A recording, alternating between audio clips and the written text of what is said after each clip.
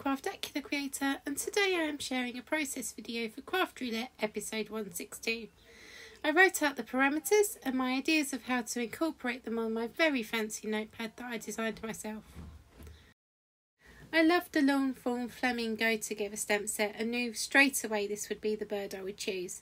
I went for pinks in a flowering field and so my Copic colour palette was simple. Colours can be seen on the screen. I also stamped a graduation cap for my flamingo because, why not? To give this card a graduation theme. The sentiment is brilliant, you will see that soon.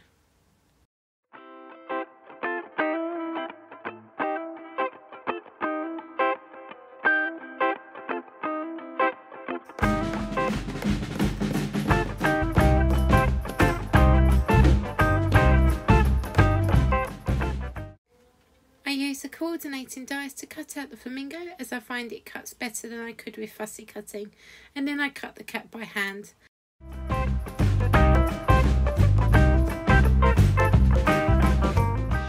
I dress the flamingo in its cap using liquid glue.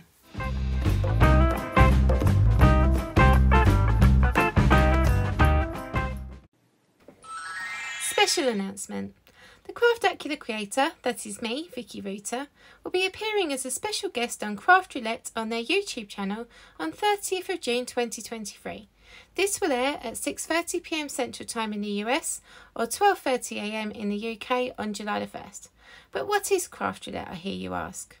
Craft Roulette is the ultimate paper crafting game show challenge where the goal is to complete a project that has been randomly selected by the spin of a wheel.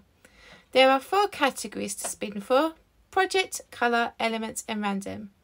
Guest crafters and craftettes make a pro card project live on the show alongside Mary Gunfun, the intrepid hostess.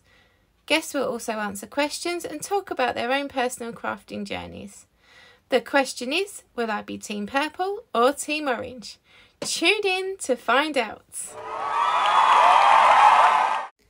Well, what did you think of that announcement? I am so incredibly excited about being a special guest crafter on Craft Roulette on June 30th, 1st of July for me. The special guest behind me is my husband, and yes, it was very hard for me to keep a straight face. It took a few takes to film that, I can tell you. Back to the crafting. I stamped the word Flaming Go onto a pre-cut flat banner and on screen now you can see me use the banner die again to cut it to the length I wanted. I also stamped the first part of the sentiment, Oh the place is your, on a banner strip. I wanted to pretty the banners up a little, so I dusted the edges of the thin banner with Kitsch Flamingo Distress Oxide and then fully blended the wider strip with the same ink. I got too far into the voiceover for this to edit the way I said flamingo. And so it could be either flamingo or flamingo, depends which way you look at it.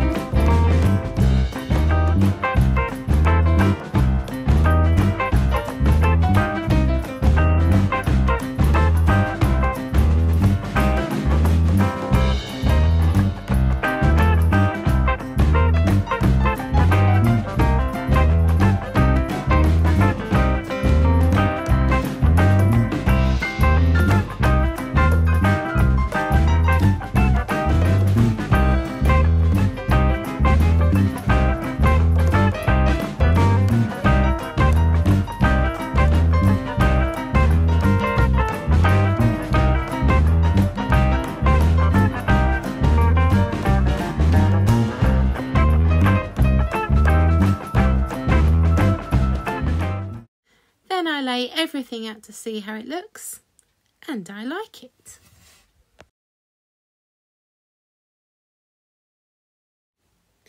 I glued the Lawn Fawn white wood grain cardstock to the Lawn Fawn Older Dots pink paper which I had previously cut and scored.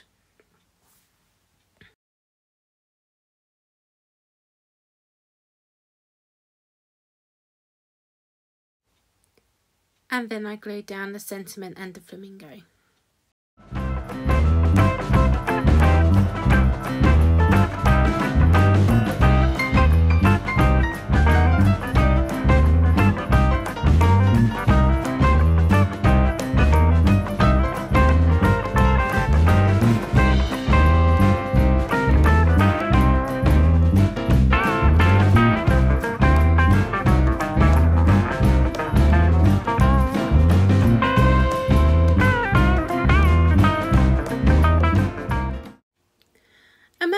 Fold card features a flap that is usually stapled. Other than that, it's very similar to a top folding card. I used my stapler here and then quickly realised that the top half was a little on the long side, so I trimmed it down to fit. Just a little at a time, checking in between, as I have learnt the hard way that you can cut something short easily, but it's very hard to make it long again.